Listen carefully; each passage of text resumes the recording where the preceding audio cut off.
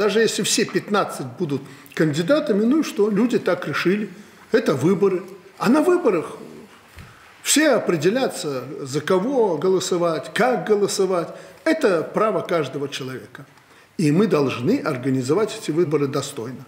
Знаете, не, не потому, что я тут вот, вот хочу таким пушистым выглядеть. Нет, дело не в этом. Дело в том, что нам не надо плохо организовывать выборы. Нам это не надо.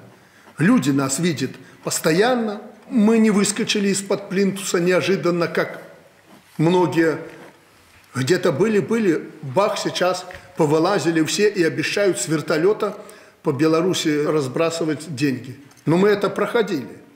Деньги надо в Беларуси зарабатывать тяжелейшим трудом, иного не дано. Больше будешь работать, больше заработаешь. С вертолета никто не, не сбросит.